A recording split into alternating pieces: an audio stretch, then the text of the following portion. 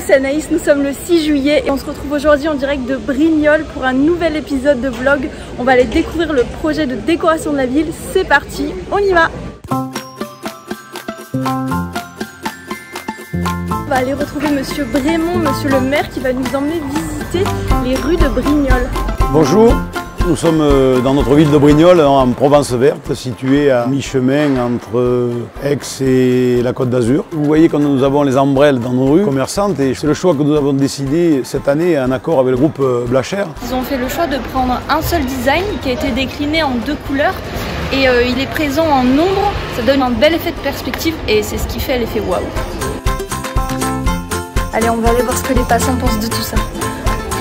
Bonjour. Alors écoutez, très très bien. Franchement, là, depuis qu'ils ont installé ce- cette petite décoration, ça attire les gens. C'est super joli. Bah, pour dire, la gamine, elle l'a remarqué, elle voulait pas s'en éloigner. quoi. Et c'est imprimé comment? C'est avec des, nos imprimantes 3D.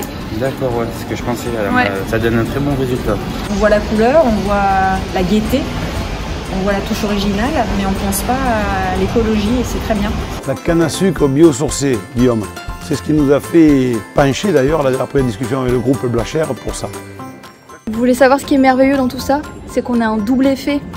On a hop, petit selfie et hop, petit selfie ombre derrière moi. Regardez comme c'est incroyable. Regardez. Elle est pas belle cette rue? Là, vous êtes dans la rue Barbaroux, ce qui est une nouvelle rue piétonne. On voit bien que les commerçants mettent leur étal dans la rue pour justement euh, redynamiser ce plan action cœur de ville que nous mettons en place. Et je crois que c'est le bon choix puisque les échos sont très très très favorables de la part des Brignolaises et des Brignolais et des gens du territoire.